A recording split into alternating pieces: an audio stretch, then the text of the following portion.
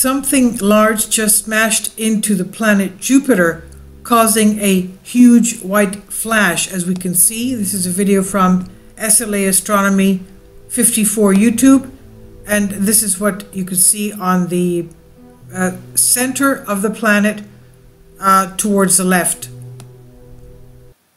So this is what's happening on Jupiter. It's just hanging out there. The planet is a gas giant shepherding Trojans, uh, minding its own business, and boom, smacked upside by a stray space rock. And it's not necessarily unusual for Jupiter, actually. What is unusual is that someone happened to be looking at it at that time, filming at just the right moment, the right place at the right time to take an image of this. And this month that happened with sky watchers around the globe catching an explosion in the planet's upper atmosphere.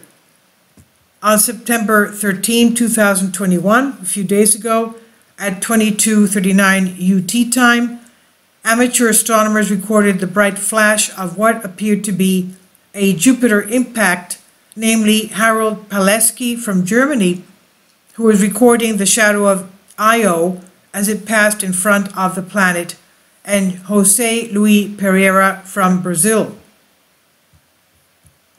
Support my Patreon account since YouTube has again demonetized my YouTube channel. The daily posts are five videos daily and they are totally different from what I have on my YouTube channel. Thank you so much for your support and that you find all my content so interesting. You'll find the Patreon account details in the description box below. And here we see it again in a slower motion. Now others including Simone Galelli in Italy and Jean-Paul Arnaud and Michael Jackson in France Thibaut Hamburg, Stephen Barret, Alexis Demogin, and Didier Waliang of Société Lorraine d'Astronomie de France also managed to film the putative impact. Now, to, if confirmed, the event will only be the eighth impact event observed on Jupiter since the impact of comet Shoemaker-Levy 9 in 1994, which broke apart due to Jupiter's tidal forces and produced a string of impacts.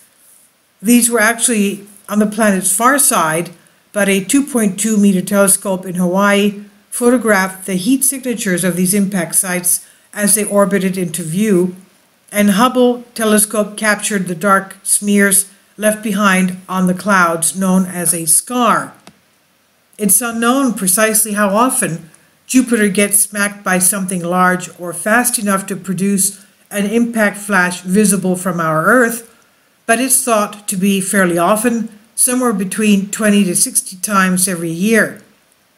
Jupiter is large and has a huge gravitational field, which accelerates meteorites to generate much more energetic events than we experience on Earth. But we don't see them as often as they are predicted to occur for multiple reasons, the most recent capture of an impact event on Jupiter was over two years ago. Astronomer Jonti Horner from University of Southern Queensland, Australia, said, It's a very fleeting event, it's only a few seconds. It wouldn't be so obvious if you were looking through the eyepiece of a telescope. A lot of the time, these things will go unnoticed and unobserved. Half of them will happen on the far side of the planet, so there's a lot of things working against seeing these events from our Earth, obviously. Nevertheless, the rate at which we detect them seems to be increasing, she said. This will be of great benefit to astronomers hoping to understand Jupiter's role as a cosmic vacuum cleaner protecting the Earth from rocks that might have otherwise headed our way. Some analysis suggests that this may have been exaggerated but either way, understanding it more accurately will help us model the chances for life in other planetary systems that have or don't have Jupiter-like gas giants to protect them. The objects that smacked into Jupiter in 2019 turned out to be an object 12 to 16 meters in diameter, that's 40 to 50 feet, with a mass of about 450 tons and a stony iron composition. We're going to have to wait for an in-depth analysis of this flash. and subsequent observations looking for an impact scar to see what hit Jupiter this time around. But with so much material to work with, we're excited to see what astronomers find, they said. This is on Science Alert by Michael Starr. Please leave your comments. Thank you for your support.